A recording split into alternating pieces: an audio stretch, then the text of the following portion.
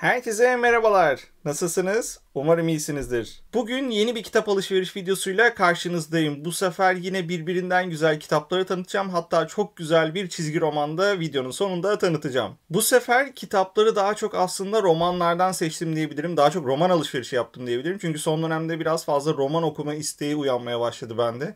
Çok fazla böyle iş, gelişim vesaire gibi kitaplar okudum. O yüzden şu an böyle romanların konusunu gördükçe ilgimi çekiyor. Çünkü sanırım son dönemde dediğim gibi böyle güzel hikayelere bir açlığım oluştu. O yüzden videoda da çok fazla böyle roman kitabı görebilirsiniz. Umarım içinden beğendiğiniz böyle kitaplar çıkar. Mutlaka da beğendiğiniz kitaplar çıktığında lütfen aşağıda belirtin hangileri size göre kitap, hangisi sizin ilgisini çekti. Bunları okumak gerçekten bana mutluluk veriyor diyebilirim. Şimdi hazırsanız hadi videoya geçelim.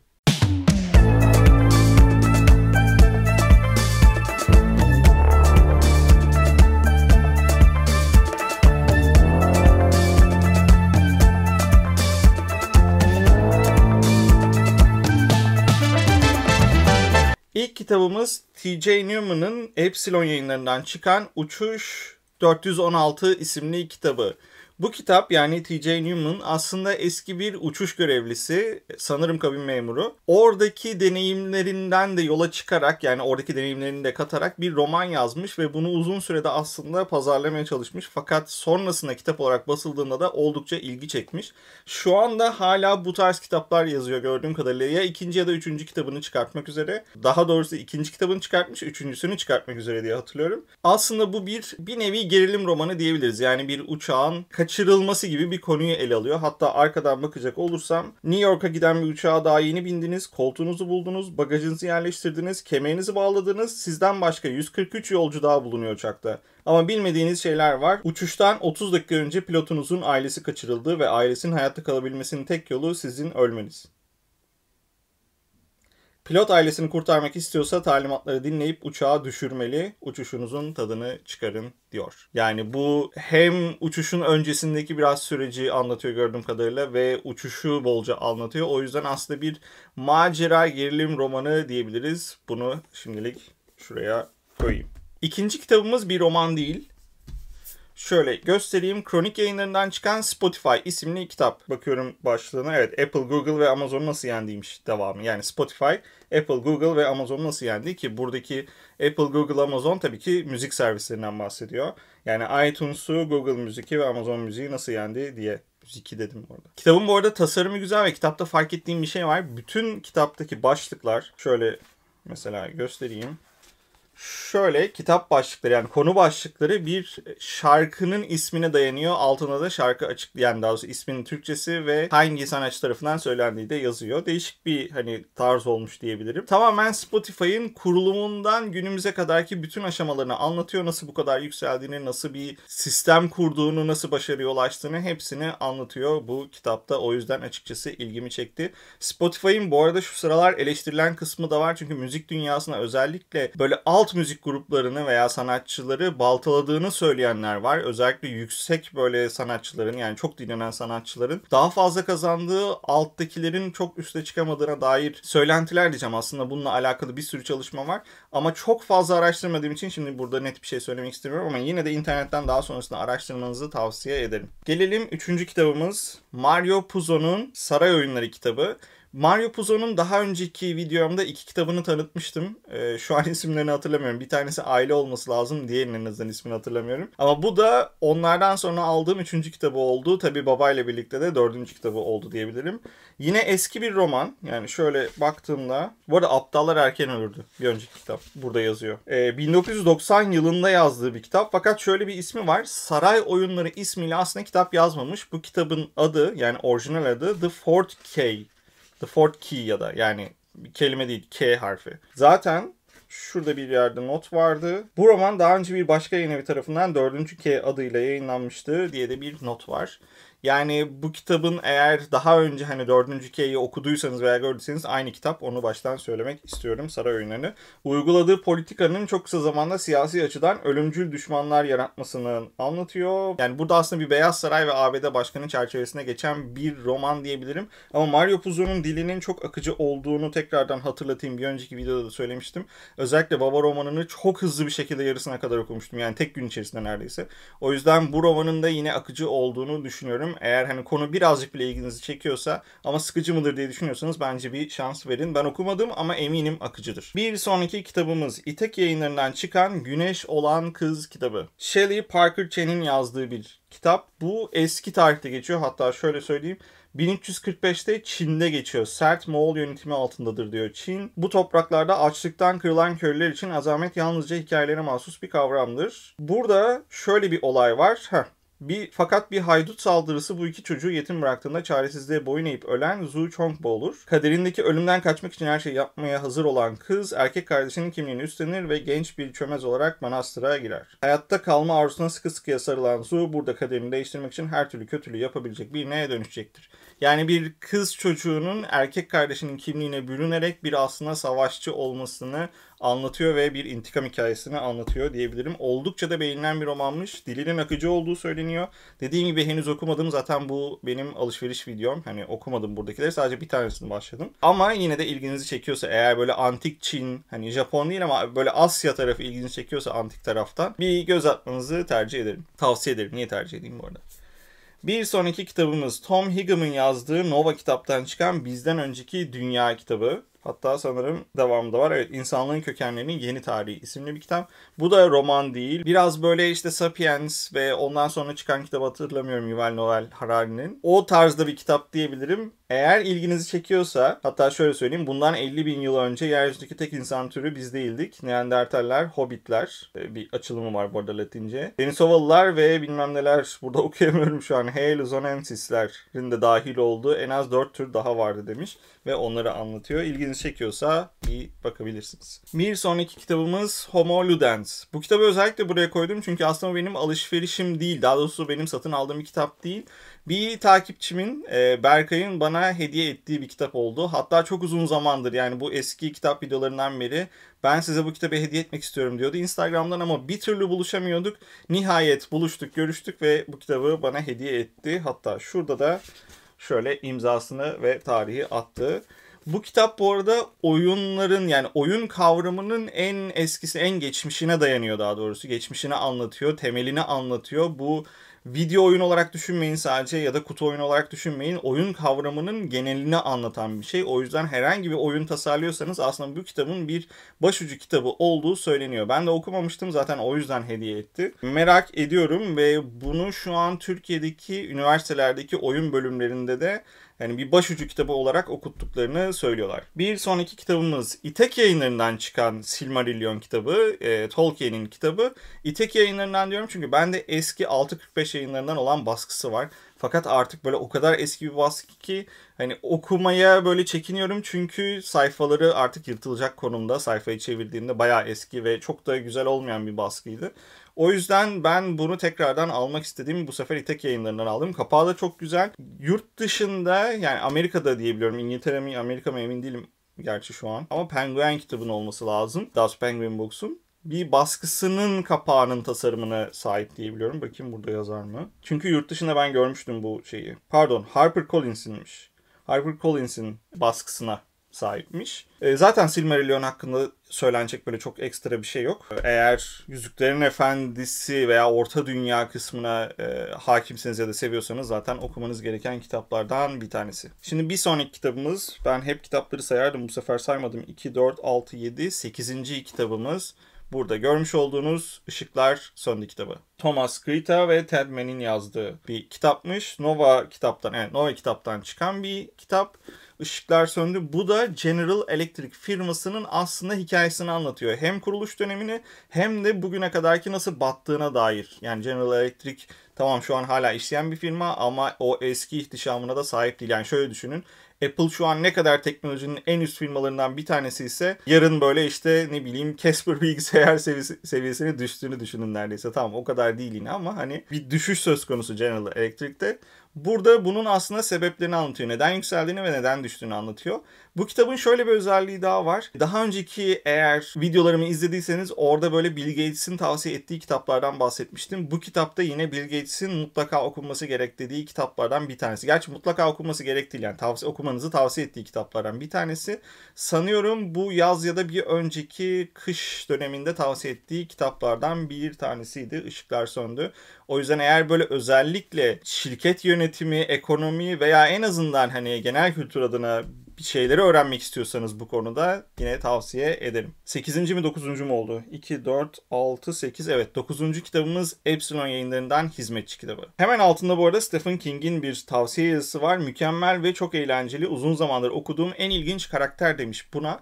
Benim de açıkçası böyle Amazon'da siteyi gezerken konusu ilgimi çekmişti. Yani konusunun böyle güzel olduğunu gördüm. En azından beni sürükleyeceğini düşündüm. Konusu şöyle. Regency Otel diye bir otelde hizmetçi bir odaya girdiğinde bir ceset buluyor ve aslında bu cesedin daha doğrusu öldürüldüğü anlaşılıyor. Bir cinayet olduğu anlaşılıyor ve bu cinayette aslında hizmetçiye kalıyor gibi bir durum var ve hizmetçi de oradan sıyrılmaya çalışıyor. Ancak buradaki asıl olay bu hizmetçinin karakterinin çok farklı bir karakter olduğu söyleniyor. Özellikle okuyanlar da altına yorum atanlar da karakteri çok sevmişler. Zaten önde de Stephen King'in karaktere bir atıfta bulunduğunu görüyoruz. Kitabın arkasında da aslında Molly'nin e, bu hizmetçinin ne kadar işine bağlı olduğu olduğunu, bu otele bağlı olduğunu, her sabah temiz üniformasını giymekten, arabasını minyatür sabunlar ve şişelerle doldurmaktan, yastıkları kapatmaktan ve büyük zevk alır diyor. Yani bunu görüyoruz. Sonrasında ise bu cinayet sonrası, bu olaydan sonra Molly, Anden cinayet davasında baş şüpheliye dönüşür ve kendini anlayamadığı bir yalanlar ağının içinde bulur. Tüm bu gizemleri çözmek Molly'nin bir zamanlar düzenli olan dünyasını alt üst edecektir yazıyor açıkçası benim ilgimi çekti. Sürükleyici bir roman olduğunu düşünüyorum. Siz de bir göz atabilirsiniz. En azından kitabın konusunu okuyabilirsiniz. Bir sonraki kitabımız artık 10. oldu sanırım. Ölümü ellerinde tutarken. Kısa bir roman, Itaki yayınlarından çıkan bir roman. Yazarı Otessa Moshfegh. Bu kitabın da yine konusu ilgimi çekti. Çünkü şöyle bir konusu var. Yaşlı bir kadın bir gün yürüyüşe gidiyor. Her gün aslında yaptığı bir rotayı izliyor. Fakat burada orman içerisinde bir tane ceset buluyor. Yine aynı konu aslında diğeriyle. Zaten ben de bu konuları biraz böyle cinayet çözmeyi, gizemi, bulmacayı işte seviyorum. O yüzden bu romanda yine ilgimi çekti. Zaten kısaydı. Hatta arkasından birazcık okumam gerekirse Köpeğiyle birlikte günlük yürüyüşlerinden birine çıkan 72 yaşında Vesta ormanda esrarengiz bir not bulur. Adı Magda'ydı. Onu kimin öldürdüğünü asla kimse bilmeyecek. Ben öldürmedim işte onun cesedi. Yaşadığı bölgeye kocasının ölümünden sonra taşınan ve pek de tanıdığı olmayan Vesta önce bu notla ne yapacağını bilemez ve ardından da notta bahsedilen Magda'yı bir saplantı haline getirir. Yavaş yavaş aralanan sis perdesi tehditkar bir şekil almaya başlar. Vesta gizemin girdabına kapılırken bir yandan da yavaş yavaş kendi geçmişindeki gölgelerle yüzleşmek zorunda kalacaktır diyor ediyor. Benim ilgimi çekti açıkçası. 11. kitabımız bir çizgi roman. Alfa yayınlarından çıkan Kusama. Daha doğrusu tam adıyla Kusama Takıntılar, Aşklar ve Sanat. Bir biyografi çizgi romanı aslında. Kusama'yı belki şöyle görmüşsünüzdür. Şu an Louis Vuitton'un böyle reklamlarında bir sürü puantiyeler, noktalar görmüşsünüzdür. Renkli renkli noktalar.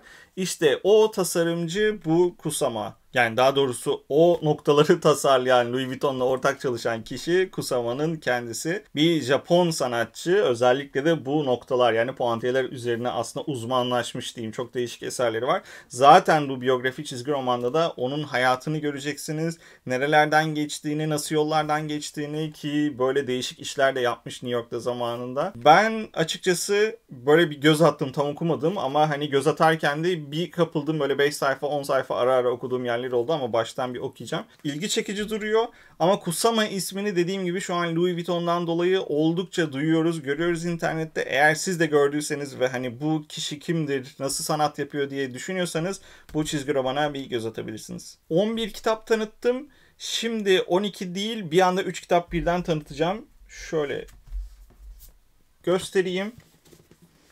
Neden 3 kitap birden? Çünkü 3'ü de aslında aynı seriye ait. Bunun aslında dördüncüsü de var. Şöyle söyleyeyim. İtaki yayınlarından çıkan Gene Wolfe'un yazdığı İşkencecinin Gölgesi kitap serisi. Diğer kitapların adı bir, ikinci kitap Liktor'un Kılıcı. İkinci mi emin değilim ama ikinci olması lazım. Ya da bir saniye şöyle bakayım. Değilmiş. Üçüncüymüş. Özür dilerim. Şöyle yapayım. İkinci kitap Uzlaştırıcının Pençesi ve üçüncü kitap Liktor'un Kılıcı şeklinde üç kitap burada yer alıyor. Dördüncü kitap Amazon'da sipariş ederken yoktu. Stokta olmadığı için alamadım. Daha sonra geldi ve yine hızlı bir şekilde bitti. Kaçırdım yani kitabı. Şu an nedense böyle hızlı bir şekilde geliyor ve gidiyor. İnsanlar yoğun bir şekilde sanırım bu dördüncü kitabı almaya çalışıyor. Nedenini bilmiyorum. Bu arada bu işkencecinin gölgesi benim radarımda olan bir kitap değildi. Bir yandan böyle bilim kurgu gibi yani bilim kurgu diyor zaten ama yani çünkü gelecekte geçiyor. Ama bir yandan da geçmiş gibi. Yani bu PlayStation'daki Horizon e, oyunlarını oynadıysanız belki onun gibi ama tam o, o, o gibi de değil yani. Böyle farklı bir yine konusu var. Zaten eski bir roman. Bu arada içinde de Neil Gaiman'ın bir yazısı var. Gene Wolfe okumanın e, zor olduğunu ama işte metne güvenmeniz gerektiği, bütün işte aradığınız soruların cevaplarının e, metinde olduğunu anlatan bir yazısı var. Ne demek istediğini anlamamıştım ama kitaba başladığımda ki bu arada biraz önce söylemiştim hani bir kitap okuyorum diye. Şu an 138 sayfadayım. Kitap bir noktadan sonra hızlı gitmeye başladı ama ilk böyle bir 50 sayfa, 60 sayfa neredeyse akmıyordu diyebilirim. Çünkü yazım tarzı biraz farklı. Bir kişinin anılarından oluşuyor. Yani kendi anlatımından oluşuyor. Ama çok fazla bilgi var. Yani cümleler çok fazla dolu, çok dolu daha doğrusu. O yüzden de okuması biraz ilk başta zor geldi bana ama sonra dile alışınca, tarza alışınca hızlı bir şekilde okumaya başladım ve zaten aslında geçmişe dönüp cümlelere tekrardan baktığınızda Neil Gaiman'ın da dediği gibi bazı soruların cevapları aslında metinde vardı. Yani çok fazla bilgi olduğu için bazen okuması zor oluyormuş diyebilirim ama şu an hızlı bir şekilde gidiyor ve merak da etmeye başladım konunun nereye gideceğini. Bu işkencecinin gölgesi biraz önce söylüyordum. Benim radarımda olan bir kitap değildi ama Instagram'dan şu an özür dilerim adını hatırlayamadığım için ama bir e, takipçimin bana yazmasıyla keşfettim. Dedi ki bu kitap serisi gerçekten çok güzel mutlaka bakman lazım mutlaka araştırman lazım dedi. Ben de direkt girdim baktım konusu hafif ilgimi çekti Amazon'dan sipariş ettim ve ilk başladığım kitap da bu oldu. Dediğim gibi şu an akıcı bir şekilde gidiyor. Sanırım çok kısa süre içerisinde bu kitabı tamamlarım. Eğer güzel ve heyecanlı bir yerde bırakırsa 2-3 ile de devam ederim. Yoksa araya bu kitaplardan bir tanesini alırım ki diye düşünüyorum. Şimdi bu 3 kitabı da buraya koyayım ve son kitabımız. Büyük çizgi romandan önceki son kitabımız. Amerikan Toprağı. Epsilon yayınlarından çıkan bir kitap. Janine Cummins'in yazdığı bir kitap. 36 dile çevrilmiş öyle yazıyor. Uluslararası satan bir roman diye. Bu kitabın konusu benim ilgimi çekti. Yine hani böyle heyecanlı roman arayışımdan e, dolayı. Burada da bir kadın var. Romanda bir kadın eşi ve bir de çocuğu var. Kadının eşi idealist bir gazeteci. idealist kısmını seç şey yapıyorum. Özellikle çiziyorum çünkü zaten öyle yazıyor. Kadın aynı zamanda bir kartelle de dost. Yani kartelin başındaki kişiyle de dost bir arkadaş ilişkisi var. Fakat eşi o kartel hakkında bir yazı yazıyor ve birçok bağını ortaya çıkarıyor diyebilirim. Bunun üzerine bu kartelde ailesinden birçok insanı öldürüyor. En son kız ve çocuğu kalıyor. Sanırım eşini de öldürüyor emin değilim. Kız da çocuğunu alıp Meksika'dan Amerika'ya doğru kaçmaya çalışıyor. Çünkü Amerika'ya kaçarsa, Amerika'ya geçerse hayatının kurtulacağını düşünüyor. Kartelden kaçacağını düşünüyor. Ve aslında bir yol ve kaçış hikayesi diyebilirim. Bir yandan kız kaçıyor bir yandan da Javier olması lazım. Evet Javier bu kartelin başındaki adam da kadını kovalıyor. Böyle bir hikayesi var. E, açıkçası dediğim gibi yol ve kaçış hikayesi benim ilgimi çekti. Meksika'dan Amerika'ya bir yol ve aslında gerilim dolu bir hikaye. Eğer sizin de bu tarz böyle hikayeler ilginizi çekiyorsa Amerikan toprağına e, göz atmanızı tavsiye ederim. Bu kitap da bu arada yeni bir kitap diye biliyorum. Bizde Ocak ayında yani bu sene Ocak ayında e, basılmış. Ama en azından kitabın orijinali de 2020'de yazılmış. Yani daha böyle güncel dünyayı baz alıyor diyebilirim. Bunu neden söylüyorum? Çünkü örneğin bu kitap 1980'lerde yazılsaydı şu an sahip olduğumuz birçok teknoloji olmuyor. Veya 1950'lerde yazılsaydı belki kameralar olmayacaktı, başka şeyler olmayacaktı. Bu da hikayenin gidişatını değiştiriyor bazen. Ama şimdi örneğin karakterin bir akıllı telefonu vardır. İşte bilgisayarı vardır. Ne bileyim internete erişimi vardır. Buna göre bir e, kaçış hikayesi yazılmıştır. Yani dönemlere göre hikayenin konteksti diyeceğim değiştiği için daha doğrusu içerisindekiler değiştiği için nasıl sonuca ulaştığına dair kullanılan araçlar. Bu yeni yazılmış romanlarda o yüzden biraz daha böyle günümüzdeki kurguyu baz alıyor. Cümleyi çok uzattım, çok karıştırdım ama siz bence ne demek istediğimi anladınız. Şimdi bunları şöyle bir kenara çekiyorum çünkü çizgi romana geçiyorum. Bu videonun bence yıldızı olmaya aday bir alışveriş. İşte karşınızda Şöyle göstereyim. Oldukça da ağır. Tenten'in bütün çizgi romanları. Şöyle tutacağım. Evet böyle göstereceğim. Belçikalı yazar ve çizer Herge'nin, Herge diye okunuyor ama biz Herge diyebiliriz bu videoda en azından. Herge'nin ünlü çizgi romanı Tenten'in bütün çizgi romanları yani bütün sayıları burada bu box sette yer alıyor. Şöyle göstereyim. Tenten'i aslında tanımayan yoktur. Tenten'in çizgi filmleri de vardı. Belki onları izlemişsinizdir ama Tenten'in çizgi filmini izlemediyseniz muhtemelen çizgi romanlarını görmüşsünüzdür. Özellikle benim gibi böyle 90'larda çocukluğunu yaşayanlarınız varsa eminim Tenten'i biliyorsunuzdur ya da hatta okumuşsunuzdur. Benim de bu arada şöyle bir anım var. Annem beni berbere götürdüğünde berbere sürekli Tenten gibi olsun derdi. O yüzden de saçımın önü sadece böyle dikilirdi. Geri kalanı yatık bir şekilde olurdu. O yüzden Tenten'in bende genel olarak farklı bir anlamı var. Böyle her işte ay berbere gittiğinde ten ten ten ten ten ten ismi geçiyordu. Neyse ondan bağımsız çizgi romanlarında o dönem okuyordum ve böyle bir Tenten'den belki geçtiğini düşündüm. Bu arada hiç hatırlamıyorum o eski çizgi romanları. Tek hatırladığım şey Tenten'in işte başını belaya soktuğu, çok büyük maceralara atıldığı, işte bir gizem çözücü olduğu yani birçok noktaya böyle her taşın altına baktığı ve gizemleri çözdüğüne dair bir şey hatırlıyorum. O yüzden aslında okumak istiyordum tekrardan romanlarını. İki cildi vardı daha önceden basılmış öyle bütün romanları diye. Şurada hatta gösterebileceğim iki cilt daha önce basılmıştı. Şimdi kalan 6 cilt birden basıldı. 8 cilt olarak böyle toplu set çıktı şu kutusuyla birlikte. Ama onun dışında ilk iki cildi alanlar için diğer 6 ciltte ayrı ayrı satılıyor. Yani alıp tamamlayabilirsiniz. Bu arada çizgi roman Alfa yayınlarından çıkıyor. Şöyle göstereyim. Daha önceki iki cilt de yine Alfa yayınlarından çıkmıştı. Bu yabancı bir edisyonun hatta benim gördüğüm kadarıyla o yabancı edisyon kırmızı kapakta bizde Türkiye'de böyle mavi şekilde çıkmış. Mavi tasarımda bence mavisi çok daha güzel kesinlikle. Biraz böyle şeyi de yansıtıyor işte Belçika'yı da yansıtıyor. Hatta Tenten'in ana e, şehri Brüksel'i de yansıtıyor diyebilirim bence renk neden bilmiyorum. Kitapların bu arada şöyle birleştirdiğinizde Tenten'in bir koltukta, berjer bir koltukta oturduğunu, köpeği Milo'nun orada oturduğunu görüyor, yattığını görüyoruz. Ve Tenten elinde bir kitapla böyle bir resim oluşuyor. Aynı zamanda harflerden de Tenten yazıyor. Şimdi Tenten ismi bu arada şunu da belirteyim. En azından yurt dışına gidenleriniz veya yabancı versiyonunu görenleriniz biliyordur. Tenten ismi aslında orijinalde Tenten değil, Tintin ismiyle geçiyor. Ama Türkiye'de Tenten ismiyle geçiyor. Nedenini biraz araştırdım ama tam bulamadım. Sadece kaynağına gittim. Bu arada Tenten 1929'larda yazılmaya başlanan bir çizgi roman ve bir hikaye serisi. Ülkemizde de ilk olarak 1950 yılında yayınlanıyor. Sanırım Doğan kardeşten yayınlanıyor ve yayınlandığında ismi Tintin yani orijinal adıyla yayınlanıyor. Ama aynı sene yine 1950'de Armağan isimli bir dergide bu karakterin ismi değiştirilerek Tenten'e dönüştürülüyor ve Tenten ismiyle yayınlanıyor. Daha sonrasında birçok yayıncı da nedense belki de Armağan daha çok ünlü yaptı Tenten'i Türkiye'de yani Doğan kardeşe göre. Tenten ismini kullanmaya devam ediyorlar ve öyle geldiği için de her yayıncı Tenten ismini tercih ediyor. Hatta Tenten İstanbul'da, Tenten şurada burada gibi Türk versiyonları da yapılıyor Tenten'in yazılıyor çizgi roman olarak. O yüzden nedense Tenten ismi Türkiye'de oturmuş durumda. Alfa yayınları da yine burada yayınlarken Tenten ismini tercih etmiş. Ama ben açıkçası böyle bir box set yaparken sanki Tintin'e dönebilir miydi diye düşünüyorum. Eminim yayıncı kadrosu da bunu düşünmüştür. Tintin'e dönelim mi, Tenten mi devam edelim diye ama muhtemelen Türkiye'de Tintin ismi bilinmediği, Tenten ismi olarak daha hakim olduğu için bu ismi tercih etmişlerdir diye düşünüyorum. Ama en azından siz de bilmiyorsanız öğrenmiş olduğunuz aslında ismi Tintin. Bu arada yakın geçmişte de yani yakın geçmiş derken yine bir 10 senesi falan vardır. Spielberg'ün tamamen CGI ile bir animasyonla yaptığı bir Tenten filmi bulunuyordu. O da yine Türkçe'de Tenten ismiyle vizyona girmişti. Oldukça güzel bir film. Onu da izlemenizi tavsiye ederim. Bu box sette yani 8 ciltten oluşan bu bayağı ağır ve iyi bir birinci hamur kağıda basılan çizgi roman. Hatta şöyle göstereyim size cildini. İçerisinde bu arada şöyle her kitapta bulunan şeyler maceraların ismi yer alıyor. Şurada da zaten bütün maceraların ismi var.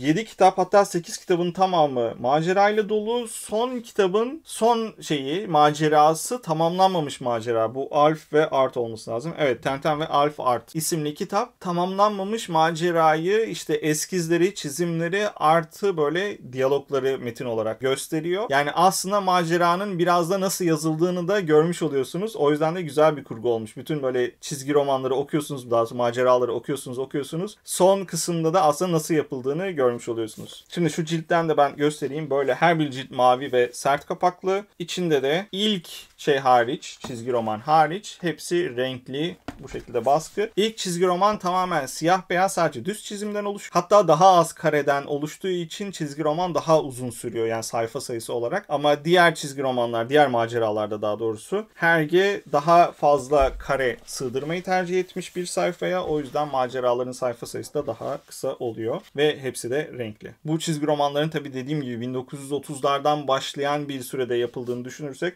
oldukça eski çizgi romanlar. Tenten dünyada da çok beğenilen bir çizgi roman ama bazen artık hani günümüz ideolojisine uymayan noktalar olabilir. Bazı kullanılan terimler ya da bazı işte hareketler şu an günümüzü yansıtmıyor olabilir. Oraya ben çok da takılmamanızı tavsiye ederim. Şöyle tekrar yerleştireyim. Bu kutulu hal yani box set haliyle ayrı ayrı ciltleri aldığınızdaki tek fark bu dışındaki karton kutusu. Yani bir set olarak aldığınızda sadece bu karton kutusu ekstra geliyor. Onun dışında bütün ciltler aynı basım. Yani bu şekilde aldığınızda yine bu görseli tamamlayabiliyorsunuz, yazıyı tamamlayabiliyorsunuz. Yani tamamen aynı aslında sete sahip oluyorsunuz. Sadece dışındaki bu karton. Şöyle de dışından yine görselini göstereyim bu kartona sahip olmuyorsunuz. Kartona sahip olmak için bu kutulu halini almanız gerekiyor. Evet video yine dolu dolu oldu. Burada gördüğünüz bir sürü daha çok roman ağırlıklı kitaplar. Burada da görmüş olduğunuz çizgi roman. Zaten bu kadar kitabı bitirmek bile oldukça uzun sürecektir. Umarım da bu tanıttığım kitaplar arasında hoşunuza giden kitaplar vardır. Daha önce de söylediğim gibi eğer hoşunuza giden bir kitap varsa altta yorumlarda mutlaka belirtin. Çünkü ben de sizin böyle hani videoyu izleyen kişilerin kitap kitap zevkini merak ediyorum. Hangi kitapların hoşuna gittiğini, hangi kitapları beğendiğinizi, hangi kitapları okuduğunuzu ya da okumak istediğinizi aşağıda belirtirseniz çok sevinirim. Ayrıca şunu da belirtmek istiyorum. Eğer yaptığım bu içeriği beğeniyorsanız videoyu beğenmeyi ve en azından kanala abone olmayı lütfen unutmayın. Çünkü bu abone olmak, bu beğenmek, yani yorum atmak buradaki sayılar hem benim için çok değerli. Orada sayının bir tane artması bile beni çok mutlu ediyor. Ama onun dışında bu tarz videoların daha fazla insana ulaşması için de algoritmayı geliştiren bir şey. YouTube algoritmasının bu videoları daha çok öne çıkartması için yani benim kanalımı daha çok öne çıkartması için bütün bunların yapılması gerekiyor. O yüzden abone olursanız, videoyu beğenirseniz ve aşağı yorum atarsanız çok sevinirim. İzlediğiniz için teşekkür ederim. Umarım keyif almışsınızdır. Bir sonraki videoda görüşmek üzere. Hoşçakalın.